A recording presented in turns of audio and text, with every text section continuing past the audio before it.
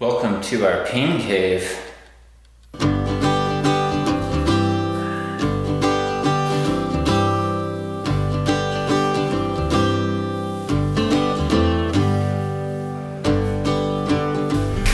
Welcome to a new space, a new humble abode, trying to rebuild, not just to get stronger in running, but to get stronger in life. Gym space here. This is a fresh palette. You can really do some nice exercises in here, in this space. Uh, but let's look at this corner, because I gotta decorate. So over here, Bosu ball, do some balancing exercises, got a gym mat down, some old memorabilia that I actually was able to save uh, because this was in my parents' house in Oregon, uh, and it wasn't in the fire. Of course, I lost a lot of my pride and joy, my bibs, uh, from the Olympic trials, this is the first Olympic trials that I made. Uh, 20 or 2007 back in New York City, wore this bib there, really proud of it.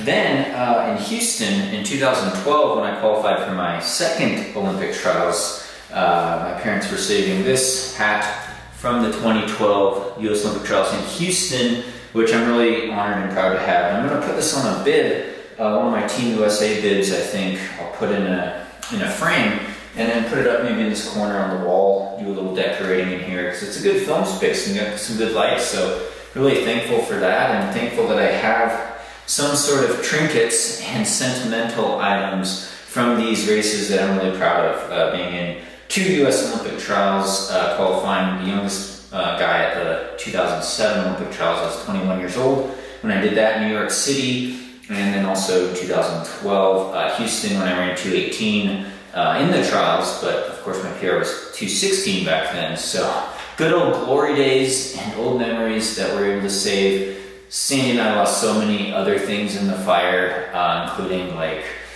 uh, championship trophies from college, uh, champion trophies from World Mountain Running Champs, Pikes Peak wins at the ascent there, uh, you know, countless Actually, I had a, I had a North Face 50 mile San Francisco trophy at my parents' house in Oregon too that I saw that I'm gonna keep and, and decorate here too. I was too fragile to travel with, but uh, do have a couple things as well as a couple jerseys and you know shout out to title sponsor Hoka One One, keeping the dream alive, uh, getting some new clothes, new shoes, you name it. Uh, really been adjusting well and happy to be in this new space with Sandi as we start off this new adventure, starting fresh trying to recollect, uh, get things, get our life back, but also have uh, more space to train and film, honestly. So uh, it's not all bad. And of course, this all wouldn't be possible uh, without all your continued support. The Patreon supporters on here, just watching these YouTube videos, uh, supporting the channel, buying training plans from Higher Running, and uh, supporting our merch. So thank you, and hope you're doing well too. All right, so I've been doing this physical therapy routine. shout out to Nicole Hospital, the PT uh, for some of these exercises. Really been rounding the turn with activating that left glute. Did a whole series on that uh, with some lower back and uh, hip type of leg pain that I think is stemmed from a weak glute max on the left side from a leg length discrepancy.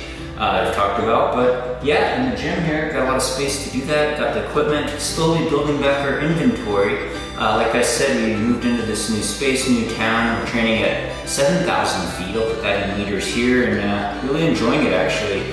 Been able to get up and do a couple 14,000 foot peaks because there are local mountains in the backyard. Of course, getting a little cold uh, with some snow there. As you could see, uh, almost ski season. Got to get a new setup for that. But uh, yeah, enjoying the vert, enjoying the trails, enjoying trying to get my health back as well. Uh, recovering, of course, from that pulmonary embolism and other injuries, not racing and, and, doing hard workouts for a really long time, but able to start training with hard workouts now. And I want to vlog about that more and share my journey as well as moving into our own space, our new space, uh, replacing everything. We were sleeping on uh, air mattress. Shout out to the thanks for that. In our sleeping bags, we had camping gear that had survived the fire because it was in the storage uh, shed beneath the apartment complex and in our cars and stuff like that. So, you know, had that sleeping gear. Finally got a new bed, a new bed, a new mattress. See the clip there.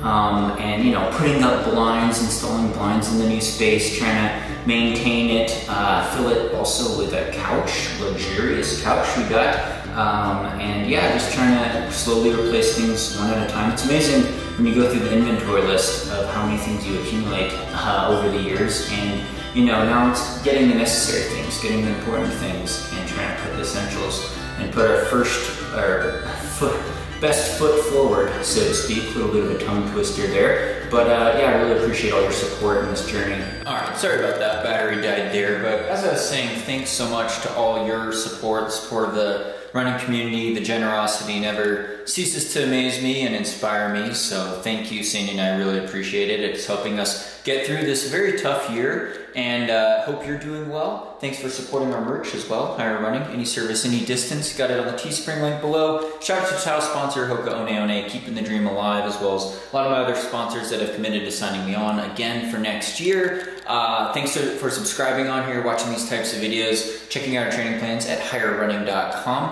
Hope you're doing well, and stay tuned for more VO2 Max Productions. My own king bed. There's just How does that space- feel? There's just enough space for me. The mattress is heavenly. Pacer right here. Pacer, where am I gonna sleep? In this corner over here? Bringing up the whole bed. I wanna be in the corner over here. Look at this. This is Oh. pacer spot. Ah. Ah, this is the life. This is the nicest bed rig we've ever had. King size mattress. Now you can roll over without hitting me. Yes.